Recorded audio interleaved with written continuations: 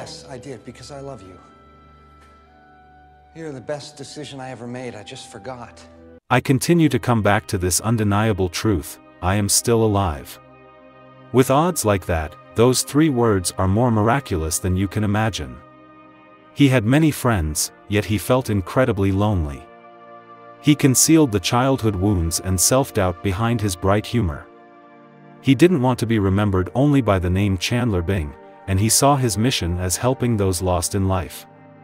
Today on The Famous People channel, we will tell the story of Matthew Perry, a comedian with a tragic fate, a life cut short too suddenly. What made 14-year-old Matthew start drinking? What did he pray for three weeks before starting the world's most famous television show? What connects Perry and his famous character, Chandler Bing? Who does Perry regret breaking up with the most? We will discuss this, as well as his friends, his fans, and a big revelation in today's video. It will be both fun and poignant, but you're sure not to be indifferent. Sit back, and let's begin. Matthew Langford Perry was born on August 19, 1969, to John Bennett Perry and Suzanne Marie Langford. Perry's parents met in 1967 at the annual Miss Snow Queen Beauty pageant at the University of Canada in Ontario. Suzanne was an honorary guest there because she had won the title the year before. And John performed as part of the Serendipity music group at the concert dedicated to this event. The young and attractive couple that evening couldn't take their eyes off each other, and their acquaintance later turned into passionate love. The couple moved to Perry's hometown, Williamstown, Massachusetts, and two years later, they had a baby boy. The baby was very restless, constantly crying due to stomach pain, and after a month of sleepless nights, the exhausted parents turned to a pediatrician for help. He prescribed an extremely powerful sedative for the one-month-old child. At the time, few people considered the side effects of such drugs, especially on the fragile psyche of a child. This medication silenced the cries of a hundred people. The child fell asleep with a smiling face, sometimes making cheerful sounds, and at least the young parents could get some rest for a while. Perhaps it was these strong sedative doses that ultimately led to Matthew's ability to tolerate banned substances, resulting in his lifelong struggle with addiction. Furthermore, these medications also had a significant impact on his sleep. However, John and Suzanne's family life was not smooth, and they decided to separate quite quickly. At that time, Matthew was only nine months old. One day, his parents got into a car and drove 5.5 hours to the Canadian border. Near Niagara Falls, Warren Langford was waiting for his daughter and grandson. Right there, the young couple put the final point in their relationship. I was told that my dad took me out of the car seat, handed me over to my grandpa, and then he quietly left me and my mom. John went to California to pursue an acting career, while Matthew had to stay with his 21-year-old mother, trying to raise him alone. One day, when Perry was three years old and attending preschool, he lost part of his finger in an accident while playing with other kids. Perry didn't cry and comforted his mother, saying, Mom, don't cry, I'm not crying. The boy took on the role of the man in the family and felt his mission was to ensure peace for his mother. However, he always felt ashamed of losing his finger and felt inadequate for six years. One day, when he was nine years old and boarding a plane, the pilot noticed and questioned him about his missing finger. Perry had to reveal the truth about his missing finger. However, the pilot also had a similar imperfection, and from then on, Perry shed his insecurity. Matthew Perry's story also shares many similarities with the character Chandler Bing in Friends, who also has a physical disability. And it's not coincidental at all. Matthew Perry lived with his mother, who was the press secretary to Canadian Prime Minister Pierre Trudeau, and often felt lonely when his mother had to work away from home. He tried to get his mother's attention by making jokes and telling stories. After his father left the family, he feared that his mother might also abandon him. Despite Perry's efforts to make his mother smile with his jokes, he still felt lonely. He tried to capture his mother's attention by making jokes. He said, My mom is really beautiful, she's a star in every room she enters. And she's definitely the reason I'm funny. The relationship between Chandler and his mother was also challenging. She was a beautiful, successful author who always attracted attention from fans and men. Chandler wanted his mother to pay more attention to him, at least to spend less time with other men and give him a portion of her love. Matthew felt like the man of the house, someone his mother could rely on. He always saw the men his mother met as potential replacements for his father. Every time a new person entered Suzanne's life, it was a small tragedy for Perry. Matthew Perry later chose to become an actor after giving up a music career, first in New York and then in Hollywood. He became the official face of the Old Spice brand with his handsome appearance. However, he often felt more at home on screen than in real life. For Matthew, his father was a true superhero, handsome and courageous, and he always wanted to become a man like his dad. The young boy would often fly to Los Angeles to visit his father, hoping to spend time with him. One memorable moment was when his mother sent the five-year-old boy to visit his father by plane, and he felt lonely and scared. However, when he saw the lights of the city, he knew he was landing and would meet his dad. Since then, he always chose homes with panoramic views. On every birthday, he wished for his parents to reunite. Matthew always felt lonely and couldn't find a way to cure his loneliness. Meanwhile, Matthew gradually adapted to his new life. Suzanne, due to her frequent travels for work, initially left her son in Ottawa under the care of babysitters but later brought him to Toronto. At that time, she had married Canada AM host Keith Morrison and was preparing to have another child. Perry also had a sister named Caitlin, whom he deeply loved. However, he increasingly felt like an outsider in this happy family. He realized he didn't fit into this perfect picture with all his issues and insecurities. At that time, his bad behavior began to surface. He started getting low grades, smoking, and even once got into a fight with Pierre Trudeau's son, Justin Trudeau, who would later become the Prime Minister. He was only 10 years old at the time. Matthew jokingly said, I decided to stop arguing with him when he was put in charge of a whole army. When Perry was in 7th grade, his family moved to Ottawa. He attended Ashbury College, an all-boys school, and developed his sense of humor there. Once, he got the lead role in the school play, The Death and Life of Sneaky Fitch. Matthew recalled, it was a pivotal part, and I loved it, making people laugh like crazy. Afterward, he participated in all the school's productions. However, this didn't prevent him from continuing to engage in negative behaviors.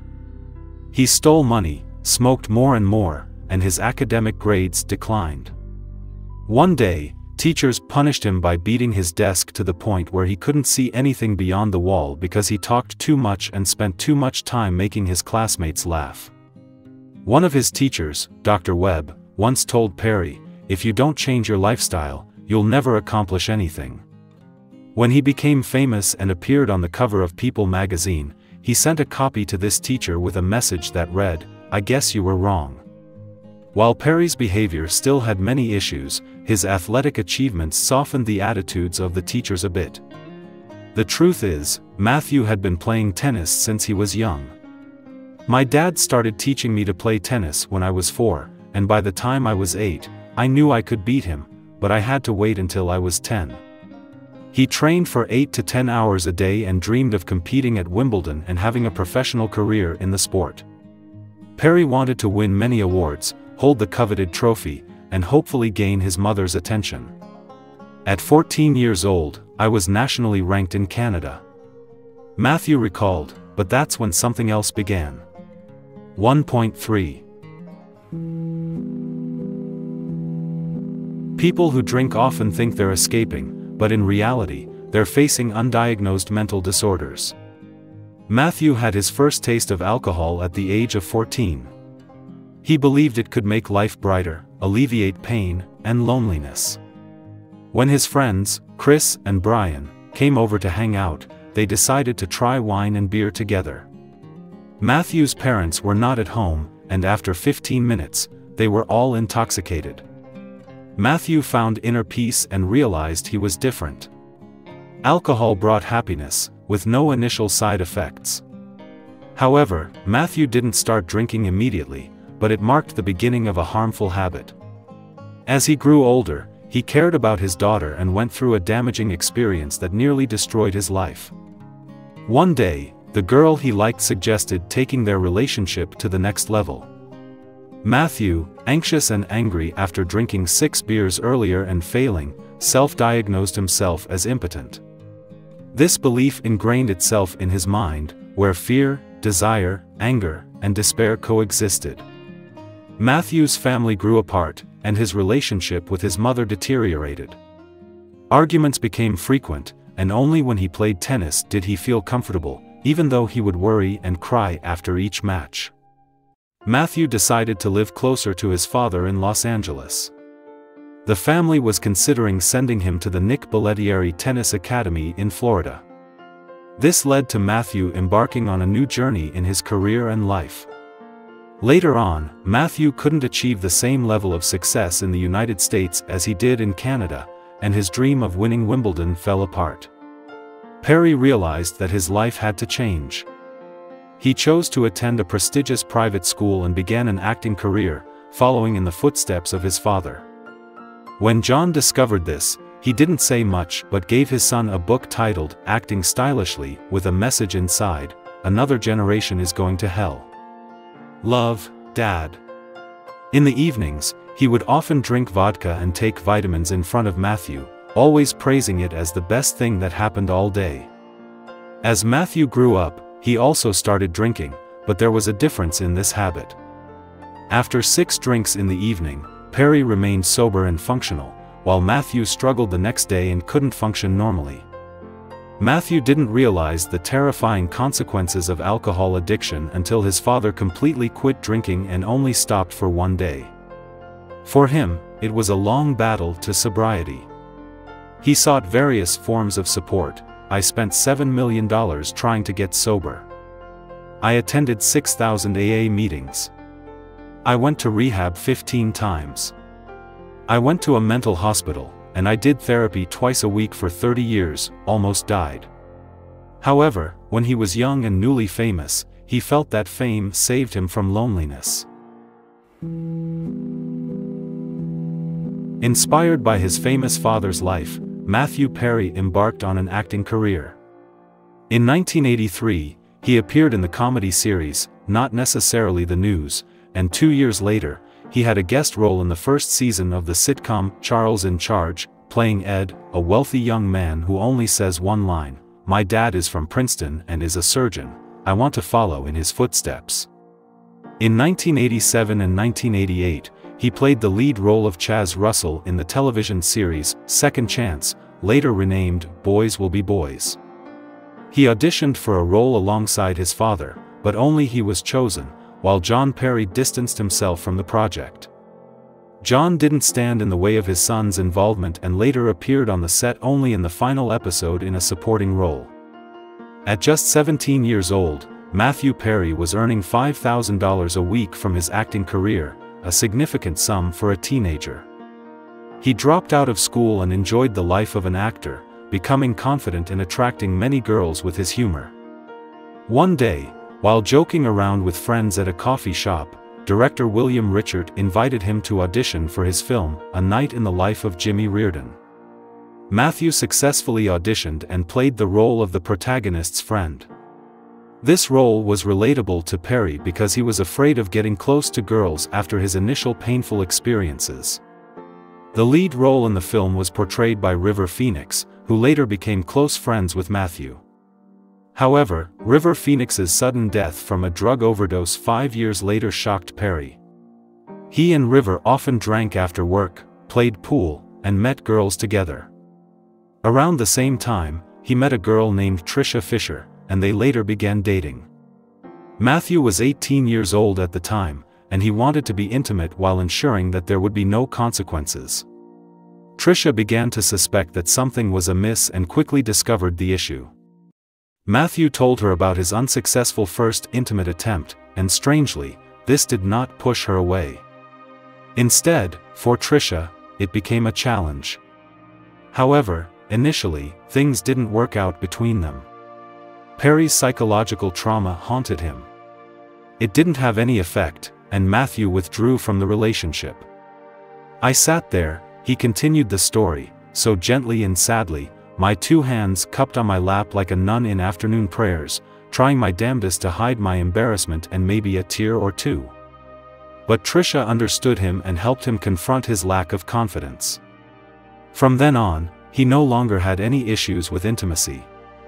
However, Perry ended the relationship with her early on, but they got back together when Friends was becoming very popular.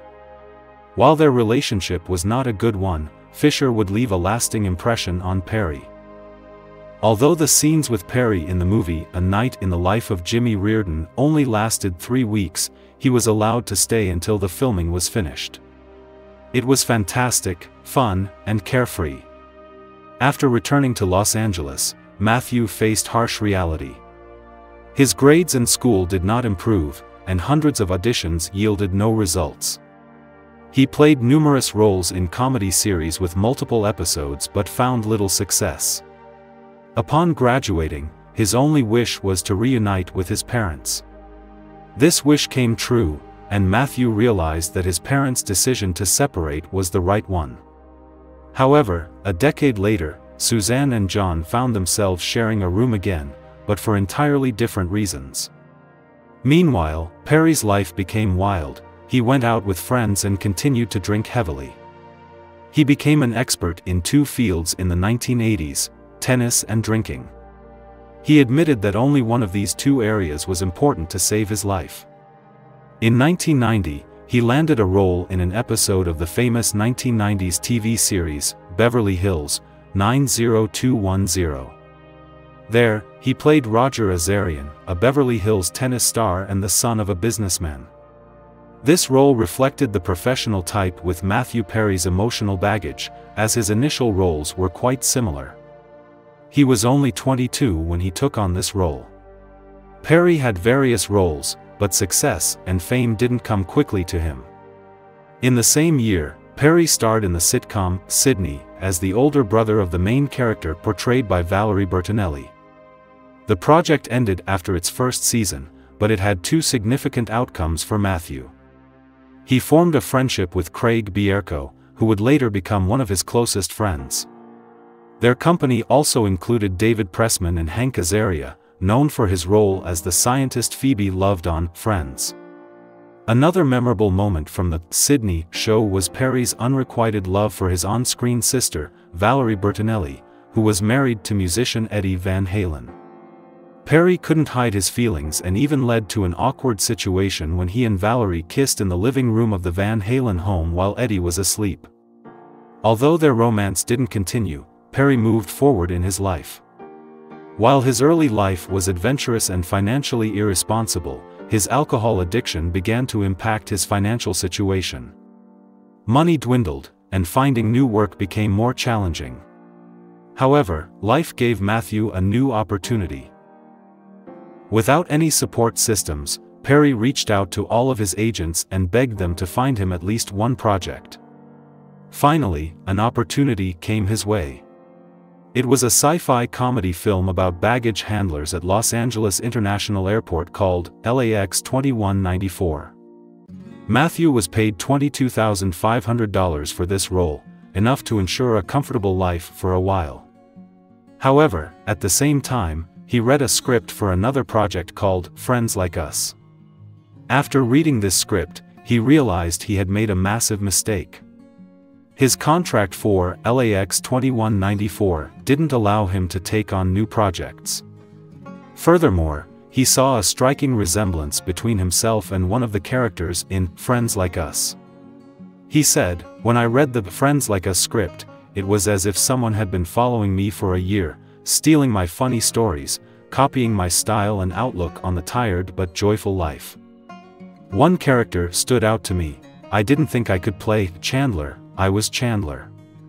Worse yet, someone he knew also started auditioning for the role of Chandler and asked Matthew for advice on how to play it best, as they thought he looked a lot like Perry. His friend Hank Azaria also auditioned twice, initially for the role of Joey. Later, he was cast as a scientist who loves Phoebe and won an Emmy for that role. Perry Riley remarked, I did 237 episodes and didn't get squat.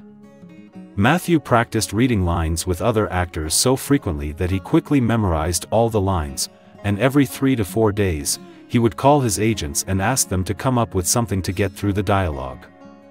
Matthew Perry auditioned for the role of Chandler Bing in the sitcom Friends Like Us, and from the very first pages of the script, he felt that this show would be a huge success. Perry saw the humorous dialogue, the vibrant characters, and could empathize with the everyday issues and daily anxieties of the six friends from New York. He wanted to be a part of this project and just be one of the fortunate friends. However, one day, his friend Craig Bierko was also offered roles in two projects, Best Friends and Friends Like Us, where he auditioned for the role of Chandler. At that time, other actors had already been cast, but the role of Chandler was still vacant. Craig asked Perry which role he should choose, and Perry advised Bierko to try to join the cast of Friends, even though he himself wanted that role with all his heart. However, Craig Bierko did not heed Perry's advice and accepted a leading role in another project called Best Best Friends. Therefore, the role of Chandler remained vacant.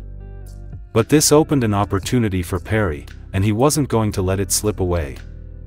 Perry auditioned again and eventually landed the role of Chandler Bing on Friends. Later on, Craig Bierko felt regret for not trying out for Friends, and couldn't speak to Perry for a few years because he missed out on a significant opportunity, while Matthew Perry made the most of that chance. They later rekindled their friendship, and Perry admitted that this opportunity had changed his life. Let's go back to 1994. NBC producer Jamie Tarses asked her husband, Dan McDermott of Fox TV, about the success of LAX 2194 and received a negative response. She then inquired about Matthew Perry auditioning for the role of Chandler Bing and got an affirmative answer. Matthew Perry, at 24 years old, had the opportunity to showcase his talents at an audition without a script. He impressed the show's creator, Marta Kauffman, by reciting lines from memory. He succeeded in the three auditions and became Chandler Bing on Friends. Before the audition, Perry read about Charlie Sheen and prayed to become famous. He had read an article about Charlie being famous and embroiled in a controversy.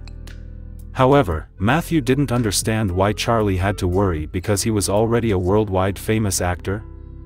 Surprisingly, he got down on his knees and started praying, Dear God, you can do anything with me. Just please make me famous. God granted Matthew's wish. God made Matthew famous.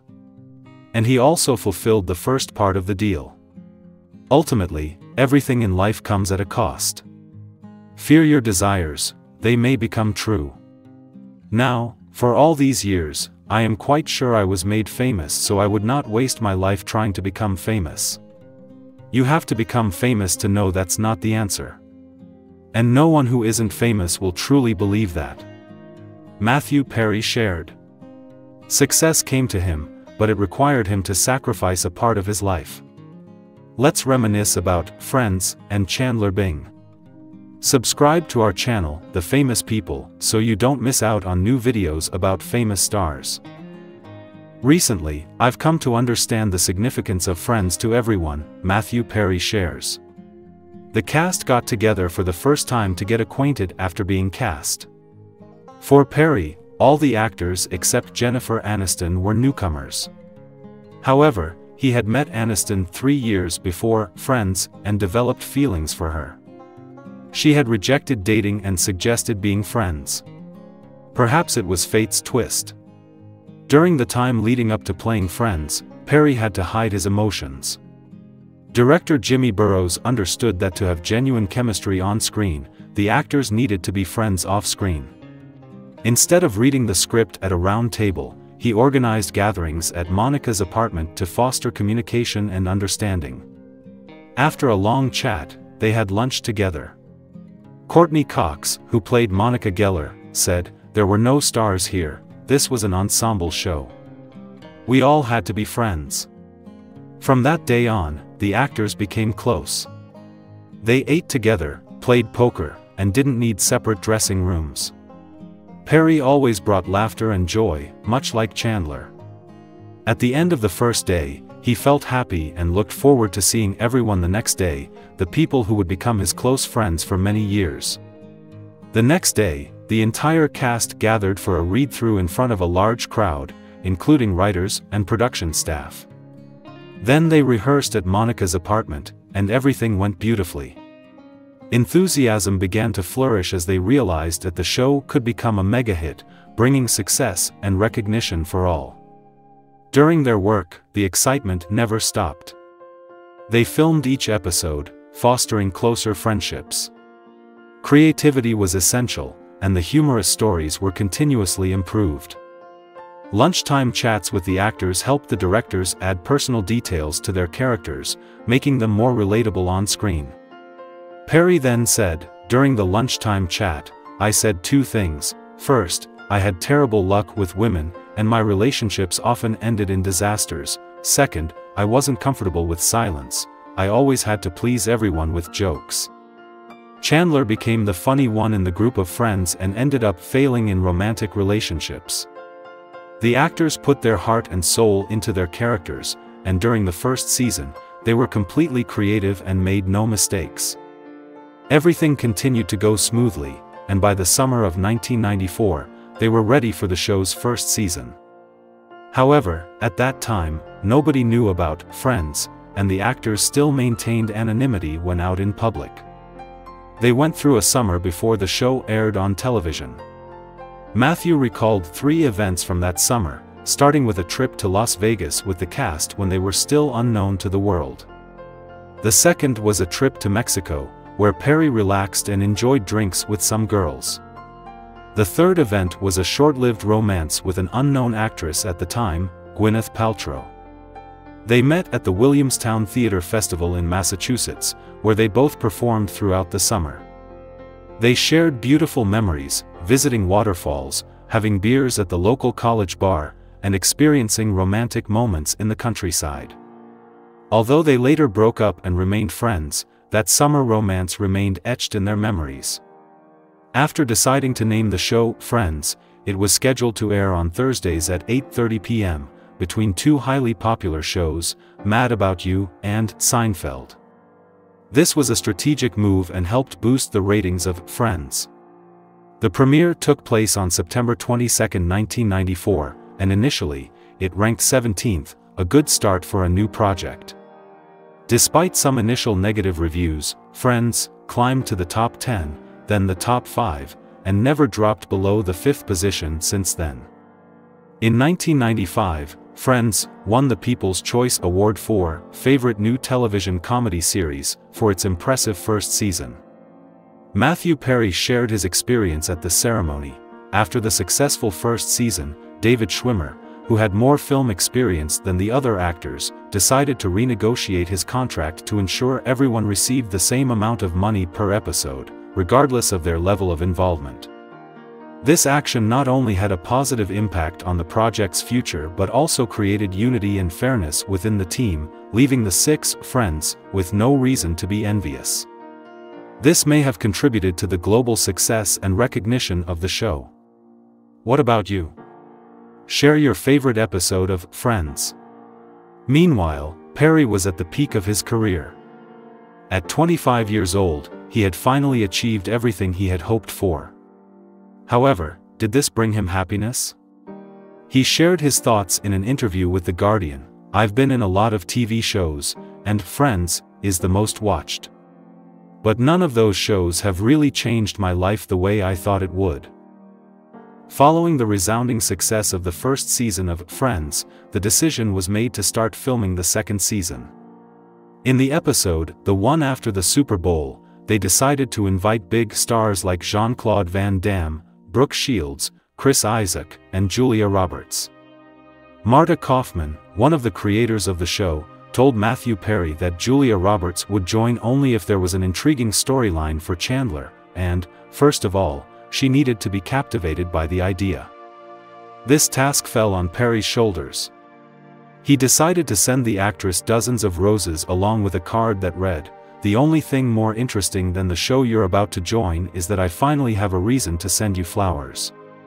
As for Julia Roberts, she replied that she would join if Matthew could explain quantum physics in a simple way for her. The very next day, he sent her what she requested via fax. Yes, in the pre-social media era, communication often took place via fax.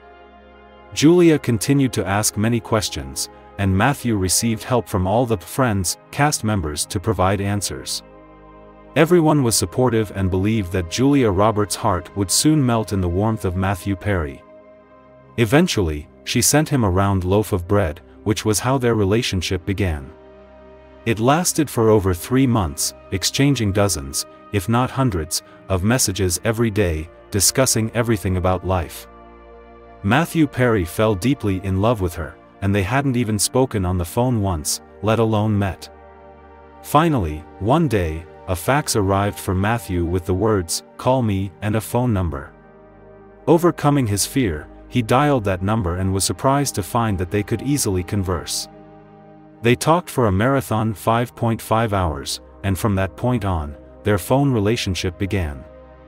However, it existed only for a brief period. Eventually, Roberts showed up at Matthew Perry's apartment doorstep, and everything quickly unfolded. They became a couple before starring in the famous Friends episode. However, the relationship quickly ended, and Matthew Perry soon realized he needed to break up with Julia. Old insecurities had taken their toll on him. He recalled, dating Julia Roberts was too much for me. I was sure she would dump me, why wouldn't she? I'm not enough, I can never be enough, I was broken, messed up, unlovable. So, Matthew saw no better option than to end the relationship. Later, he deeply regretted this decision and always followed the success of the star he had lost forever. After the second season of Friends was filmed, Matthew Perry had his first leading role in the comedy film Fools Rush In alongside Salma Hayek. For this project, he received his first ever $1 million paycheck. The filming took place in Las Vegas. One of the biggest challenges was shooting scenes out of order, and after a while, he had to suppress some emotions when looking at the ultrasound image of the baby in the womb. However, at that time, Matthew Perry had only known Salma Hayek for a few days, making it difficult to connect with those emotions. Salma Hayek suggested having meals together to try to get acquainted, but it didn't help much. In another scene, when Perry's character needed to cry, he was just thinking of something sad. But there's an interesting detail. The shooting lasted for 10 hours, and the director continuously demanded tears from Matthew. When he was exhausted from portraying all the emotions, the director asked him to reshoot the crying scene two more times. This made Matthew feel uncomfortable to the point where he actually started crying, and that take eventually made it into the film. In the romantic confession scene of the two main characters, Salma Hayek advised Matthew Perry to look past her, as if seeing their future together. However, Matthew Perry responded in his usual humorous manner, Listen, Salma, you're saying in this scene that I love you. You can look anywhere you want, but I'm going to look at you. This reflects Perry's comedic style, as he often came up with ideas to make scenes funnier. The film's director, Andy Tennant, told him, You don't have to do that. You're interesting enough to watch without doing that. However, Andy still listened to some of Perry's suggestions. The line, You are everything I never knew I always wanted, proposed by Matthew Perry and added to the film Fools Rush In, became one of the most famous lines in the movie. He even considered it the best line he ever delivered in a film. However, during the filming of Fools Rush In, Perry encountered a dangerous incident while participating in jet skiing on Lake Mead. He had an accident and suffered serious injuries, especially to his neck. A doctor was called in and gave him painkillers. Later, he drove the character's Mustang up a mountain and took the painkillers himself. Initially, he felt comfortable and didn't think about the consequences of taking these drugs. He continued to take more, and after a while, he became addicted to the medication. Perry was swallowing 55 pills a day for a year and gained over 128 pounds. Eventually, he had to check into a drug rehabilitation center, facing the risk of life and death. This was just the beginning of Matthew Perry's battle against addiction and substance abuse, and he had to confront many failures and challenges in this journey. Matthew Perry's battle with alcohol and painkiller addiction had a significant impact on his weight. He mentioned that he could track his addiction's trajectory through his weight. When he gained weight, it was due to alcohol addiction, and when he lost weight, it was because of painkillers. Perry fell into a state of malnutrition due to a lack of appetite caused by his addiction. His only thought every day was where he could get more painkillers. His dosage of pills reached up to 55 per day, and if he didn't take them, he would become extremely sick. Perry tried everything to procure the pills, including calling doctors with fake ailments and searching through the bathroom cabinets of his friends. Following the success of Friends, Perry took on another project, the movie Almost Heroes, with Chris Farley. He received 2 million US dollars for this role. However, due to both actors struggling with addiction, the filming process encountered numerous difficulties, and the movie was nearly unfinished. Matthew Perry's battle against addiction left him constantly ill, malnourished, and with various health issues. However, after a period of resistance and support from a rehabilitation center, he managed to overcome his addiction and improve his health. The fourth season of Friends was a time when Perry felt better and looked significantly healthier after his recovery process. However, he was not entirely sober for an extended period after his discharge. Just 68 days after leaving rehab, Perry started drinking again, and he continued to do so daily until 2001. Meanwhile, he participated in the film Three to Tango and developed a romantic relationship with his co-star on set, Neve Campbell. However, as was customary for Perry, this relationship became complicated. When I get someone, I have to leave them before they leave me, because I'm not enough, and I'm about to get found out, but when the person I want doesn't choose me, that just proves I'm not enough, and I've been found out. The film received poor reviews and performed terribly at the box office. Matthew Perry faced many personal and career challenges during this period. He experienced health issues due to the impact of addiction, including pancreatitis, and had to be hospitalized. His relationship with his girlfriend at the time was also under significant pressure. He struggled with drug addiction and frequently sought ways to obtain drugs. After his hospitalization, Perry temporarily lived with his father but continued to use addictive substances. He went through many dangerous situations due to his mental state and addiction. This challenging journey left lasting scars and traded off his future health. During the filming of the fifth season of Friends, Jennifer Aniston unexpectedly walked into Matthew Perry's dressing room and found him drinking alcohol. Clearly, he had been trying to conceal his addiction for a long time. However, he didn't want to admit it to his friends and didn't want them to worry about him. So, he promised to stop drinking and replace some pills with others to reduce the dosage. During the break between the fifth and sixth seasons, Matthew Perry was offered the lead role in The Whole Nine Yards, alongside Bruce Willis. He accepted the offer, and the filming took place in Montreal, Canada. The cast was great, and director Kevin Pollak allowed the actors to improvise and contribute creative ideas during the filmmaking process. In his role, Matthew Perry had to face Bruce Willis and pair up with Natasha Henstridge. He successfully fulfilled his task, and the film was a success. During their work together, Bruce Willis often organized all-night parties at the penthouse of the Intercontinental Hotel in Montreal, and Perry used a strong sedative to help his body relax after a demanding work schedule. However, the use of sedatives can interact negatively with alcohol. Bruce Willis rented nearby houses to ensure no one disrupted their stay. However, after some photos were leaked, media attention increased significantly. The Whole Nine Yards became the number one film in the United States for three consecutive weeks and received praise from critics, especially for the performances of the two lead actors, Matthew Perry and Bruce Willis. The film was a financial success, grossing approximately $106 million for the producers.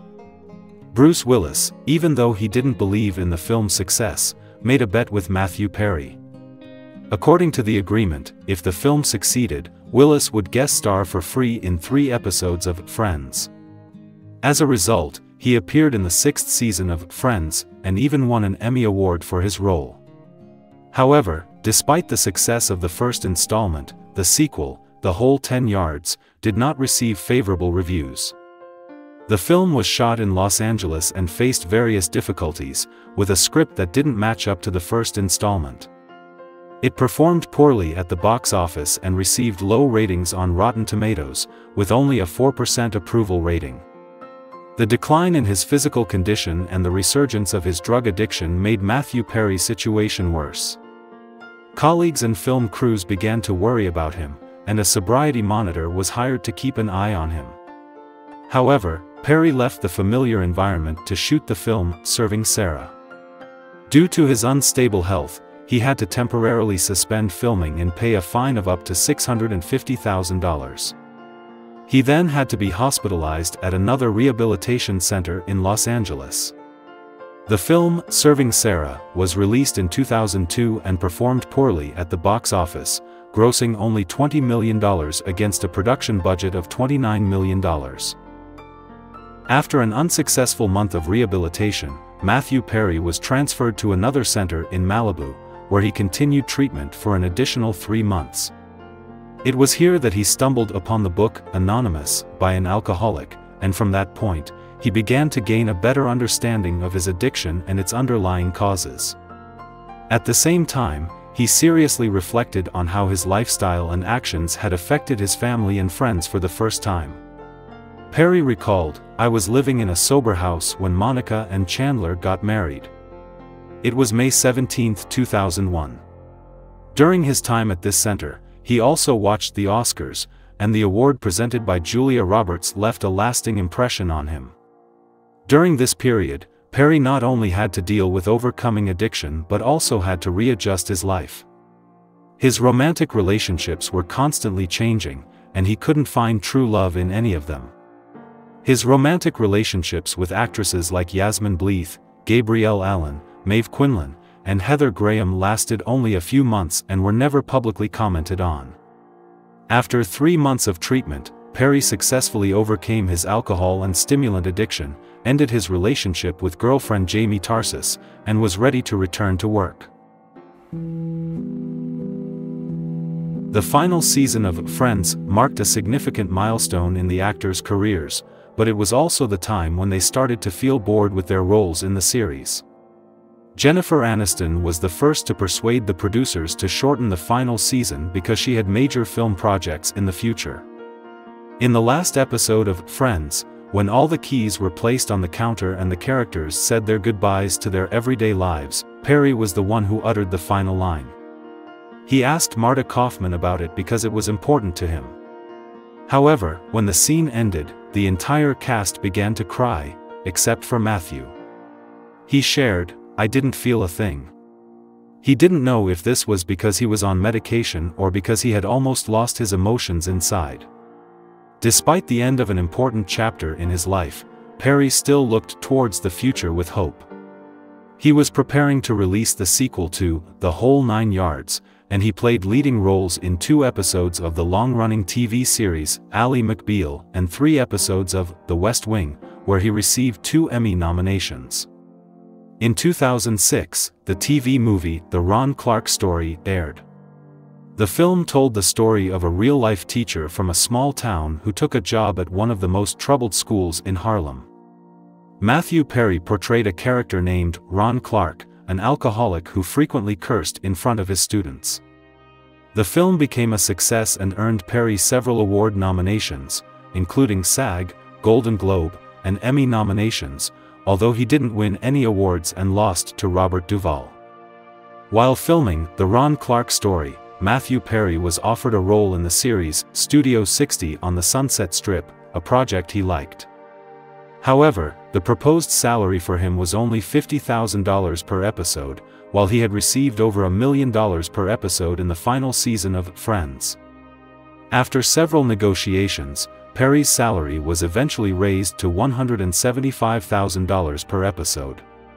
His co-star Matt LeBlanc received $600,000 per episode for the spin-off series, Joey. Working on this series was not smooth sailing because the show's creator, Aaron Sorkin, didn't allow improvisation and wanted Perry to work in a specific way. Although the pilot episode was positively received, the series was cancelled after its first season due to low viewership ratings. This left Matthew Perry unemployed and contemplating changes in his personal life. The relationship between Matthew Perry and Lizzy Caplan started to get serious after four years of dating in 2006. On Christmas, Perry gave Lizzy a special gift, a painting of them together. In the painting, she held a copy of the New York Times and a water bottle while he held Red Bull and read a sports book. Throughout their time together, they wrote letters to each other, and he added 1,780 hearts to the painting, each heart representing a message they exchanged. All these little hearts were put together to form one giant heart. Lizzy accepted this gift, but Perry almost proposed on that day, though his sarcastic remark made the atmosphere difficult. Perry and Lizzy dated for a total of six years before they broke up, but they did not get married. Matthew Perry mentioned that it was right after the day he almost proposed that their relationship began to deteriorate. He said, I often think if I had proposed to her, we'd still be married with two children and a house. However, instead of that, he remarked that he was a lonely guy living in a house in his 50s. Apart from his relationship with Lizzy, Perry continued to develop his acting career.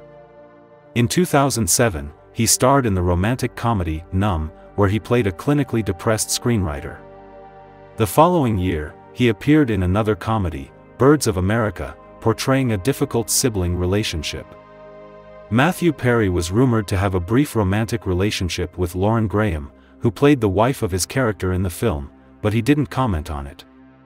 In 2009, Matthew Perry played the lead role in the fantasy comedy film 17 Again. In this film, he portrayed the adult version of Mike O'Donnell, who is given a chance to go back to his teenage years and fulfill his dreams.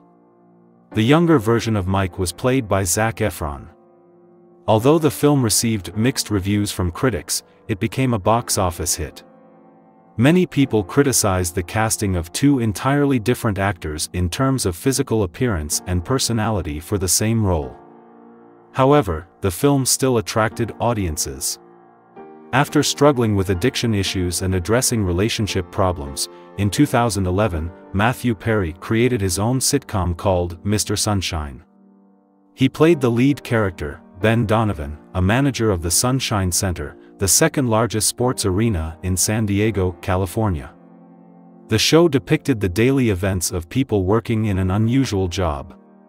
Perry played a significant role in developing this program and learned a lot about creating a television show from scratch. However, Mr. Sunshine couldn't maintain the audience's interest and was cancelled after 11 episodes. The following year, Perry starred in another series called Go On, which centered on a sports radio host trying to cope with the death of his wife. Similar to his previous project, this endeavor also didn't last long and only ran for one season. In between these two projects, Perry had to attend rehab.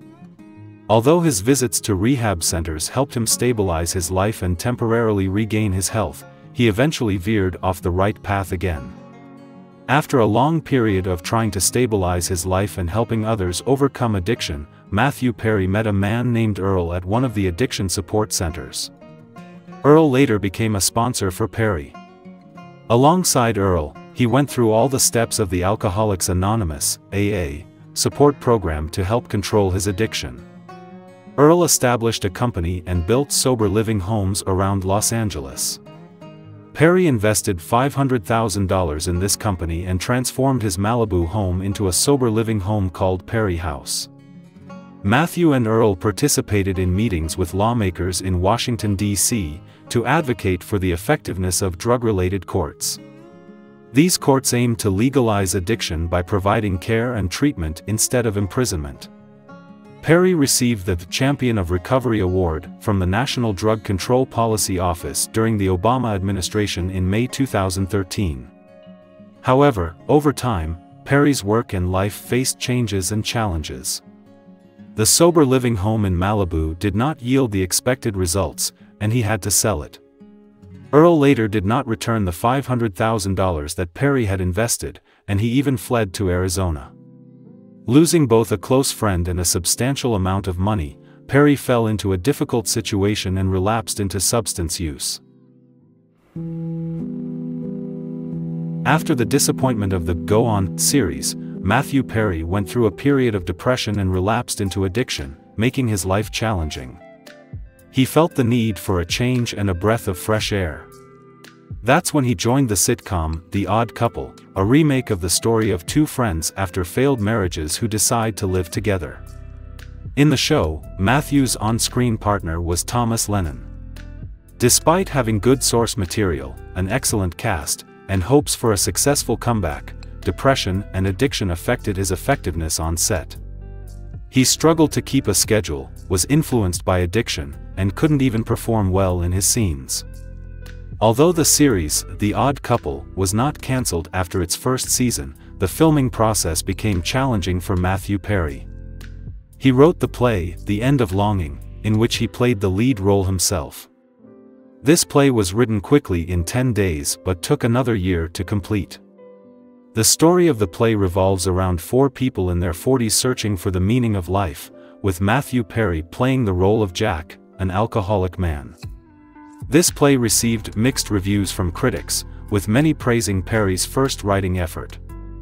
Although Lizzy Caplan, his former girlfriend, declined to attend the play, citing a busy schedule, in general, this play marked a new milestone in Matthew Perry's career after a difficult period of setbacks.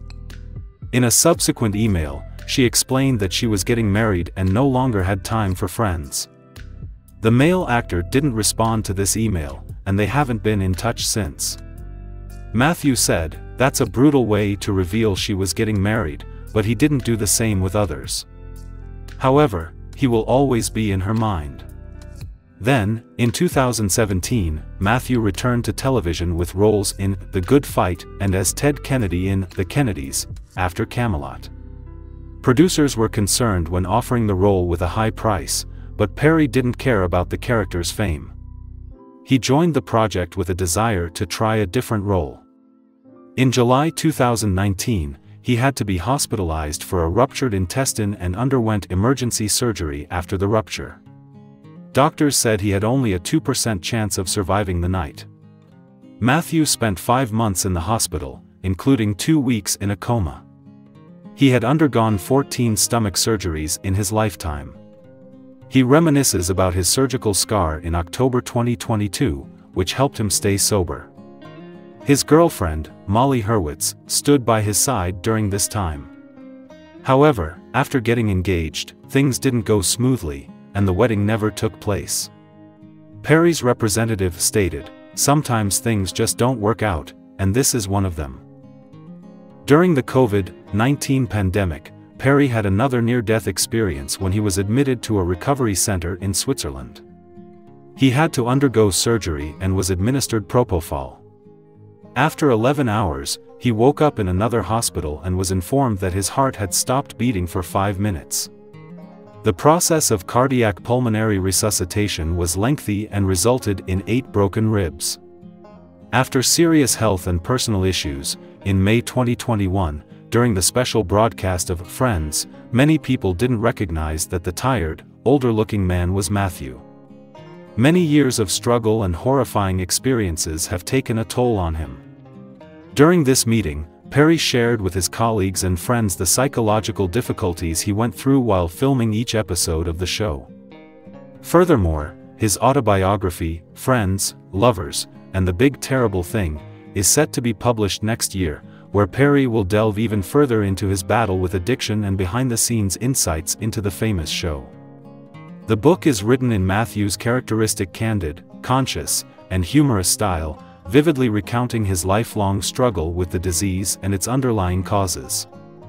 In a 2022 interview with People magazine, Perry revealed that he wrote the memoir to share with those who are facing addiction. He said, I say in the book that if I die, it'll be shocking but not surprising to anyone. And that's what I'm doing with this book. I want to share about the ups and downs because people are facing all sorts of difficulties, and if they hear a story from someone they've seen on TV, maybe it'll fill them with hope. That's important. During the release of the memoir, Perry has been sharing his life experiences through videos on Instagram. He emphasizes that addicts need to understand that they are not alone and that their disease can be overcome. There's a famous saying that people don't change. I coincidentally found out that people are changing all the time, and I see it every day, he said. I see people getting better, I see the light in their eyes turning on. They've overcome the horrific phase of addiction and can lead a normal life as long as they do a certain amount of work every day. Matthew Perry doesn't want to be remembered solely as Chandler Bing. What's important to him is leaving a mark in people's memories as someone who genuinely helped others. I want to be remembered as someone who lived well, loved genuinely, and was a seeker, Perry said in an interview. The book, Friends, Lovers, and the Big Terrible Thing, is an emotionally charged memoir that delves into the deep details of Perry's lost love, his darkest days, and his closest friends. Critics have praised the book, and fans have been shocked by the candid and open story of their idol. The book takes you into the contemplation of how close I came to death every day, is written in one part of the book. If only he had known, then he would have confronted the truth to what extent. Rest in peace, Matman. On October 28, 2023, the world was rocked by the news of the death of the Friends actor in a hot tub at his private residence in Los Angeles, California. Initial reports stated that no illegal substances were found at the scene, and there was no evidence of any violent behavior that could have led to the star's death. However, the investigation into Matthew Perry's death is still ongoing. Investigators are awaiting the results of a full toxicology examination after the autopsy. On November 1, 2023, law enforcement agencies conducted a preliminary check and found no common illicit substances in Perry's system. This confirms the actor's claims that he had been clean since 2021 in an interview with the New York Times in 2022. However, conducting more detailed tests to determine whether there were any other illegal substances in his blood and whether there was an overdose of any prescription drugs will take more time. Perry's death occurred suddenly and without warning signs. He had spent the morning playing tennis and returned home after a two-hour workout on the court. Upon returning home, he delegated tasks to his assistant and then returned, but he was found unconscious and the 911 call was made. The news of the sudden death of the beloved actor came as a shock to everyone. His family, parents, and friends struggled to cope with this tragic loss. The actor's family released a statement in People magazine one day after the tragedy, expressing their profound grief over the loss of their beloved son and brother. Matthew Perry brought so much joy to the world, both as an actor and as a friend. Everyone meant so much to him, and we appreciate the outpouring of love and immense support, the statement read. Perry's co-stars from Friends also expressed their agony at his departure. We are all deeply saddened by Matthew's loss. We were not just co-stars. We were a family, their statement read. There is much to say, but for now, we will take some time to mourn and process this immeasurable loss, the statement continued. At this time, our thoughts and love are with Matthew's family, his friends, and all those who loved him around the world. While the cause of Matthew Perry's death remains unconfirmed, many fans wonder if his sudden demise is related to his past health struggles, including his battle with addiction, and whether he sought help or not.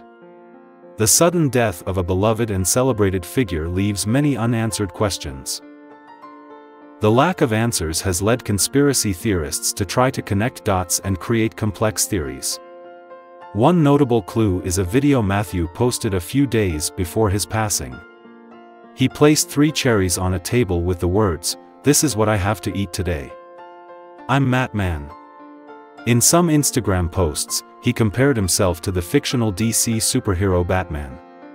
The combination of the actor's name and Batman seemed innocent until one conspiracy theorist claimed otherwise in a shocking post. According to this individual, the berries in the star's video were not blueberries as everyone thought but rather baneberries. Baneberries are a poisonous type of berry that could potentially be fatal if ingested. Some fans interpreted Perry's post as a cry for help, while others saw blueberries and associated them with Dolores O'Riordan from the band, The Cranberries, who had passed away in a bathtub. Friends and acquaintances who contacted him one or two days before the event did not notice any signs of depression. An Entertainment Tonight reporter, who interviewed Perry a day before his passing, talked about Matthew's future plans, including a biographical film with Zac Efron cast as the lead. However, an interview from a year prior showed Perry's intention not to commit suicide, even though he had admitted to past drug use that could threaten his health. Ultimately, Matthew Perry's funeral was held on November 3, 2023, at Forest Lawn Memorial Park in Los Angeles, near Warner Brothers.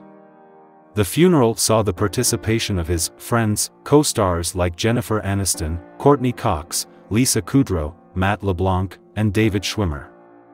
Matthew Perry had battled alcohol and drug addiction for many decades. Before his passing, he had plans to establish a foundation to support individuals struggling with substance abuse.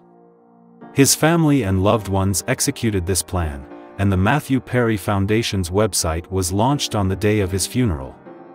This foundation is committed to helping those struggling with addiction and honoring Matthew's legacy. It will be guided by his words and experiences, aiming to make a difference in as many lives as possible. We will remember Matthew Perry not only for his humorous roles on Friends, but also as a man who fought valiantly against his formidable demons throughout his life and wanted to support others facing similar challenges.